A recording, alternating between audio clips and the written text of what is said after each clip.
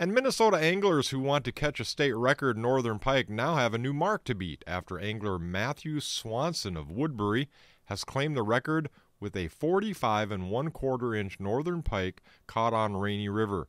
The record surpasses the first ever record set in early October when Matty Ogg caught and released a 43 and a half inch pike from Mille Lacs. However, Swanson reeled in his pike five months earlier in May. The Department of Natural Resources received Swanson application on October 29th and certified the fish soon after. Swanson was on an annual Rainy River pike fishing trip with his dad and brother. Swanson reported that after three days of fishing, he had not landed any large pike, but his dad and brother had caught several over 30 inches.